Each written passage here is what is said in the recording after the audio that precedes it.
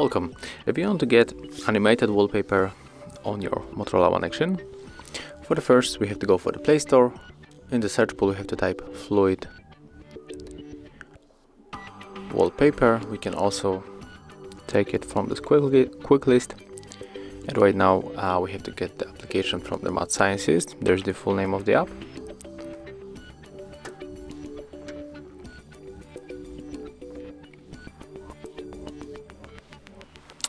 Right now we can open. And here's the preview of the wallpaper. You can also change the settings. You can change the quality of this wallpaper by tapping right here. Click to set as, set as a live wallpaper. And here we have to tap on the settings icon in the right upper corner. Click I accept. And then just go for animated. And here you can change the resolution and the quality of this wallpaper but let's apply it on our screen. We can also get it on the lock screen and the home screen.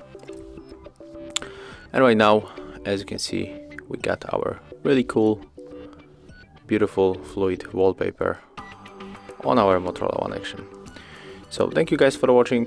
Leave thumbs ups comments and subscribe to our channel. See ya